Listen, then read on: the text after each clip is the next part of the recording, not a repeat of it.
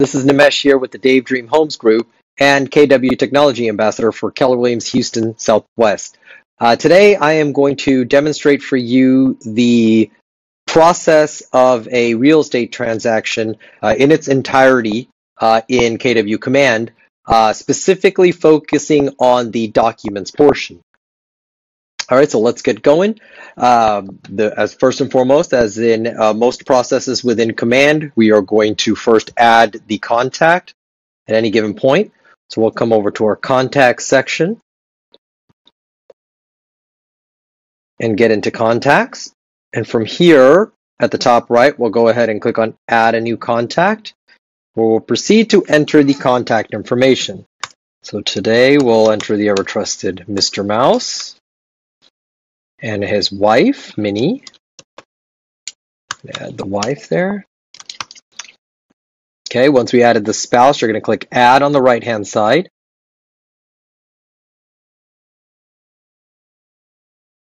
There we go. And we added Minnie Mouse there.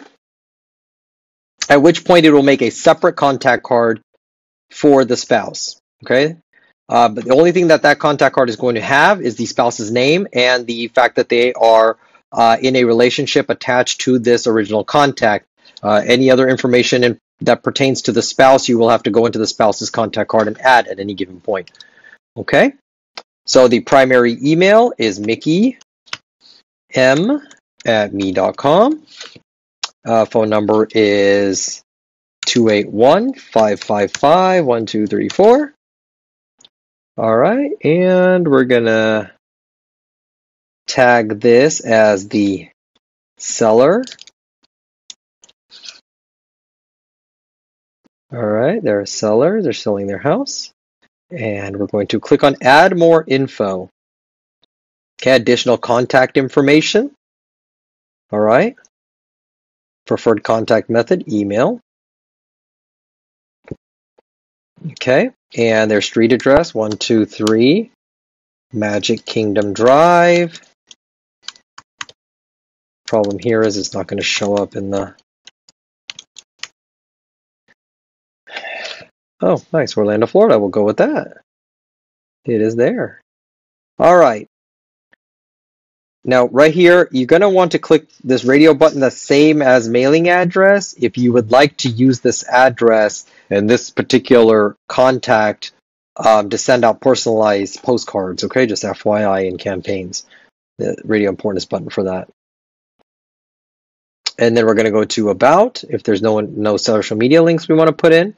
Uh, this place you would stick in birthdays and phone anniversaries. I uh, highly recommend that you do that.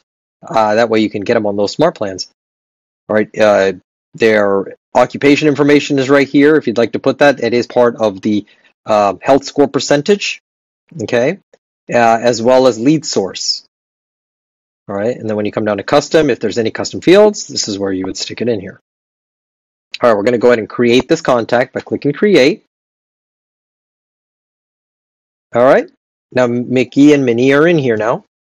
At which point, at any given point during your transactions, when they're ready to begin a transaction, you will come over to opportunities here in the left-hand menu, which will open up our opportunities. Now at this point, we're going to have to create a new opportunity on the top right because it's a brand new transaction. All right, our market center information should be there. Uh, if you're on a team, then you would drop down and pick your team name there. Opportunity type is very important. All right, it always defaults to listing, but you need to drop down and choose buyer or landlord or tenant, which would refer to the lease section. Um, otherwise, uh, this is the only field that cannot be edited once you've created the opportunity.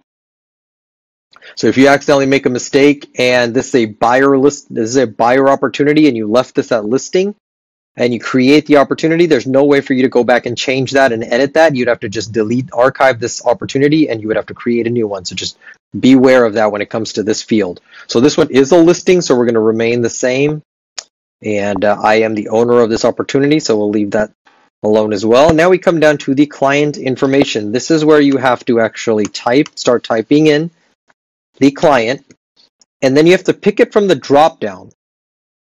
Okay, you cannot just keep continue to type the client. That's why they need to be in your contacts.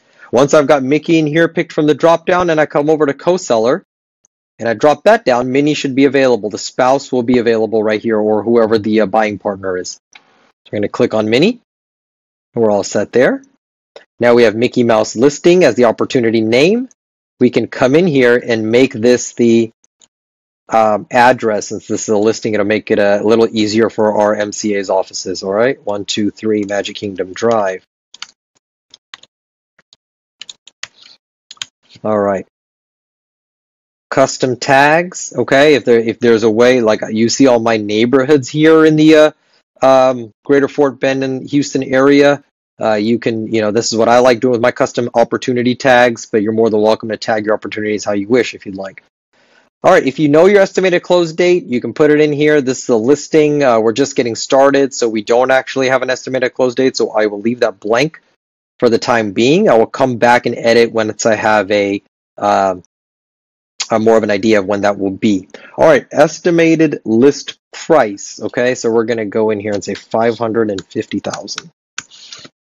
Okay, and what is your commission rate going to be here? All right, so 3%. Opportunity phase. If you're still just cultivating it, if it's still in a nurture phase, um, you, you know, you just had your appointment, then you're going to be in the cultivate stage or before your appointment. Uh, once you move on to the appointment stage, um, then it'll be in the appointments phase. Uh, we're going to go ahead and say we already have received this listing. Okay, so we're going to be in the active phase. Okay, and we're still in pre-listing though. We haven't put it up on the MLS. All right, so let's go ahead and create this opportunity. All right, once we created this opportunity, it is in here. This is your individual opportunity card. And this is where you're going to be to, in each and every one of your transactions, each real estate transaction uh, has one of these uh, opportunity cards. And as you can see along the tabs above, uh, you're going to follow along your transaction uh, utilizing these tabs, okay? Uh, the first tab that we're in now, once it's created, is the opportunity details. Um, all the information that we've provided earlier is all listed in here. At any given point, across from general information, you can click on the little edit pencil right here. Okay, and you can come back in here and edit or add any other information that you need. All right, estimated close date is still here. Time frame in months. I like to utilize time frame in months as how long is your representation contract for? Okay, so six months is what I'm going to say and your uh, appointment scheduled. Okay, let's say we scheduled it. It was yesterday. Okay, the 4th of April, and the appointment date. Let's just say I just came back from the appointment, and I signed the appointment. I signed the, the listing agreement today at the appointment, so that was going to be April 5th. Now, contract date is your executed contract date, so we do not have that yet. Close date, since we do not have an offer and an executed contract, we do not know yet, so we'll leave that blank as well. We have our price and our commission rate in there, so I'm going to save this. Okay, now the information is in there. Now the top right box is the property address, okay? So we can uh, stick this in here. We're going to say 123 uh, Magic Kingdom Drive. There we are. Okay, that's Orlando, Florida. That all goes in there. So now your property address, which I think picks it up from Google Maps, is automatically in there now. All right. Now, if you decide to utilize this box, seller's worksheet, you can use it to kind of keep track of all the numbers and whatnot. Okay, you got your buyer's agent commission rate that you're going to offer, seller's closing cost, what is the approximate and percentage of your seller's closing cost, and then if they have any mortgage balances, okay, and then your prorated taxes and HOA dues, you can stick those all in here and flick on net comparison on uh, a net show net on offer comparison, and it'll kind of give you a uh, net sheet for them um, and their bottom line, uh, what they'll be cashing out at at the end of the transaction. If you'd like, again, a more accurate uh, representation of this would probably be better off coming from your lender or the title company. Okay, so we're going to save that. All right, so that takes care of the opportunity details tag uh, tab. Uh, just FYI, when we get into the DocuSign portion of this, uh, some of the information that auto-populates in DocuSign will be coming from this opportunity details, okay, along with the uh, contact information. So the next tab is seller's profile. I'm not going to get into this too much. It pertains to the actual brand new KW consumer app. Okay, if this client is registered with the app under you, it will show up here. Okay, at which point then you can assign them a particular um, guide as far as the buyers and sellers guide goes. Okay, this the uh, so they can follow along in, in the process. Now the uh, tab after that is documents. All right. So first we're going to go over the command side of documents. So as you can see, uh, we have entered the documents tab here. And uh, first and foremost, I want to start from the left-hand side. Uh, we have a drop down here that says residential. Now, depending on your market center, you may have different drop downs here. You may be able to pick different folders and different lists right here. But the way my market center has it uh, set up is pretty plain and simple, straightforward for the listing side. It already has created a listed folder and an under contract folder. So all the documents that pertain to listed folder are going to be aligned right here under listed. Okay.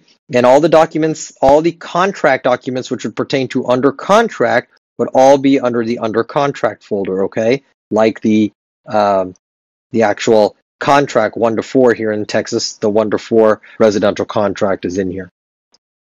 Okay. So back to the listed contract. Now we'll get to the actual documents themselves. The first and foremost, what I'd like to point out is a reminder that all these slots here are not the documents themselves. They are actually placeholders where the executed documents are going to be placed. That way, when they go to compliance, compliance knows exactly which document to look for where. Okay? Okay, so there's two types of documents in command and there's two ways to upload them into the system. Okay. The first type of document is one that comes that is directly on your computer, whether it, you downloaded from an email or you uh, scanned it in. At which point, then it's in a file that's on your computer, and then so now that compliance is directly in command, you can actually just upload that directly to one of these pertaining slots. Okay, the second type of document, and probably the more common one, is the ones that we're going to pull from DocuSign. Okay, these are going to be the documents that you create in DocuSign and then where you obtain the signatures from. Okay, now what's cool about the system is that DocuSign and Command are integrated together to where they are actually attached on the back end. So you're going to be able to pull the documents from your DocuSign room directly into Command, and you're not going to have to download them and then turn around and upload them again. Okay, so we're going to show you exactly how to do that. Now, there's two ways to upload these documents into Command. Okay, one is the individual document way, okay, which where you would come find the slot pertaining to the document you're looking to upload, okay? In this case, we have the exclusive right to sell, okay, which is your listing agreement in the state of Texas. And you would come over and click on add a file over here, where a window would then pop up, okay? And then you would keep it on the manual radio button. You see that there's a DocuSign radio button right next to it, okay? But you would keep it on the manual radio button. You could either drag that file into this dotted box, or you can click on this dotted box and then your window will appear from your computer and you can go and find that document, okay? And you would just attach it, okay? And then you would assign it, all right? And then it attaches to the slot that it pertains to. You would go about and proceed to upload any document you need one at a time, okay, if that is the method in which you need to utilize this. Now, if you came in here and you already had your exclusive right to sell, okay, your listing agreement, your IABS, your information about brokerage services, or your wire fraud notice, you got them signed all at the same time and you wanted to upload all of them at one time, you can come up here to attach multiple files. Okay. And then if they're if you're going to manually add them, then you would keep them on manual and you can drag them into its respective slots, or you can click on it again and find it, okay? And upload them. And once they're all here, you can click attach and they will be attached to its individual spots. Okay, so that would be the method in which you would utilize the manual upload. Now, if you wanted to pull something from DocuSign, okay, you would, after you've already clicked on the black button that said start a transaction, in which then they will make a DocuSign room, okay, for DocuSign. All right, I'm going to come back to command. You click attach multiple files and you would choose the DocuSign radio button instead. Okay. Now you have drop downs. Now what this is doing is it's actually reading all the documents that you have in your DocuSign room. All right. So for IABS here, then you would drop down the menu. It's empty at the moment because I just created the room and so therefore there are no documents in it. Okay. But if there were documents in here, you would see those documents listed here.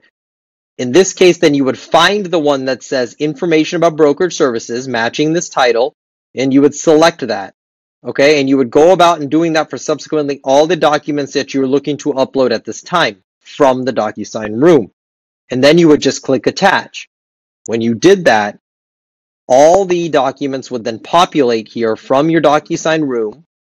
And once you were ready to submit all the documents that you had in place for compliance, you would simply come up here and click the submit to the MC, okay, which stands for Market Center, but it will go to uh, whoever your compliance manager is. Okay. Once you've done that, okay, the you then you would just come over to the offers tab to then put in your executed offer, at which point your commissions tab would then open up for commissions. This is where the instructional video is going to stop because I am going to separate these now into two additional videos. All right. Uh, first and foremost, if you want to get to the DocuSign portion now of the training, there will be a DocuSign video. Okay. Then which will come back around and show the uploading the documents from DocuSign. Um, so to get the second half of the documents training, which is the DocuSign portion, look for the DocuSign training video. If you want to move further now and go to the commissions tab and how to utilize the offers tab and the commissions tab, which are the two, which are two in one commissions process, look for the commissions tab opportunities training video. Okay, so that's the end of this video, guys. Uh, see you in the other videos. Uh, take care and keep, keep practicing uh, these scenarios. Uh, that way you have them down when we go live um, just around the corner. Take care and enjoy your day.